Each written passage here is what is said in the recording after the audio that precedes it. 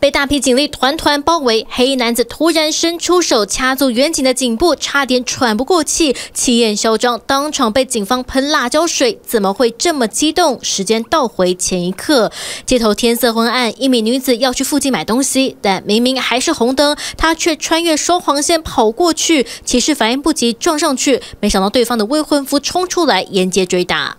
明明就有斑马线，这名女子却从路中央穿越马路，这下子被骑士撞倒。她的未婚夫不仅把对方毒打一顿，连警察到场，他们还攻击远警。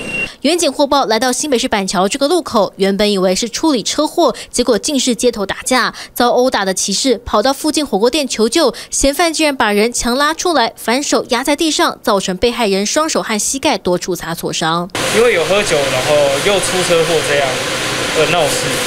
他们还是互相呛声啊，起码也有十几个警察来，这警察来压人呢。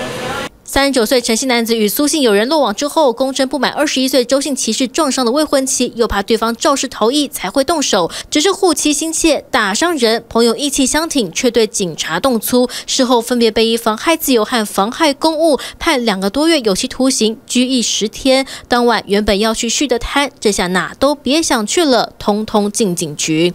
TVB 中文花莲李杰新闻报道。想扩大国际视野，掌握趋势，请订阅专门报道国际。新闻的 YouTube 频道 TVBS 国际 Plus，记得要开启小铃铛哦。